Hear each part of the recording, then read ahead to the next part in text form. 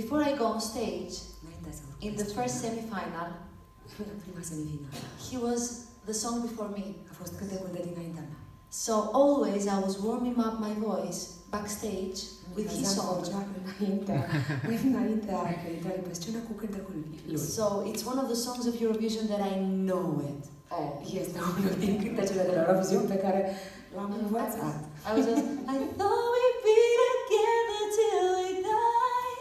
So every time, this song was in my mind. Every time.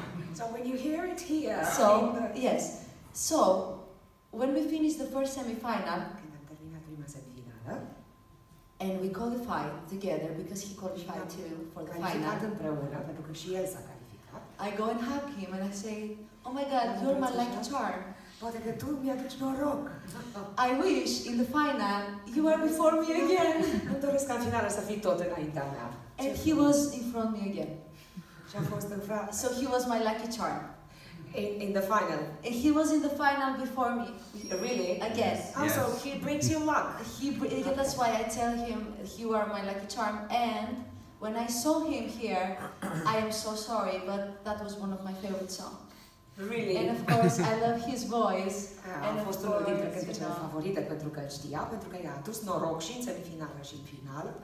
Și atunci, ok, so, So we I have the winner was- is Ryan O'Shaughnessy. No, No no, matter no, how to no, announce. I, I cannot say no, but uh, for sure, was a joke. but for sure he is amazing artist, and Yes. uh, he was amazing yesterday. Yes.